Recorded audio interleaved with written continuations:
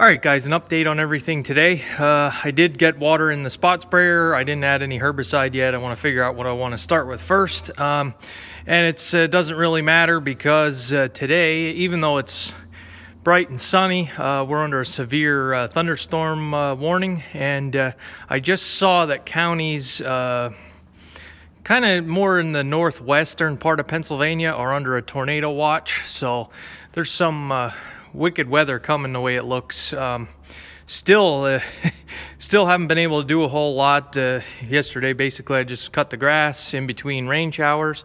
Um, so it's uh, just kind of a tough week here. Uh, looks like next week we do finally uh, clear up. Uh, Monday and Tuesday next week, it's looking like we have only like a 20% chance of rain for Monday, Tuesday. So I think we'll be back at it next week. And but yeah, with a severe thunderstorm warning and uh, like I say, there's some tornado warnings to the in the about the northwestern part of Pennsylvania right now. Um, just looking at the future radar, there's something coming.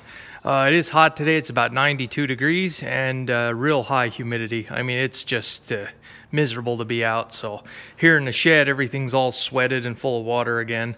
Um, so uh, stay tuned. We'll see what else we can do today uh, try to figure out something to do um, in between all this uh, bad weather coming. So uh, for you guys out in the uh, Midwest where it's been dry, I wish we could send you some rain. We, uh, I guess we're a little greedy here, but I'm not going to complain about the amount of uh, rainfall. We're well above average, but just something we're dealing with. So um, stay tuned. We'll see what else we get into today.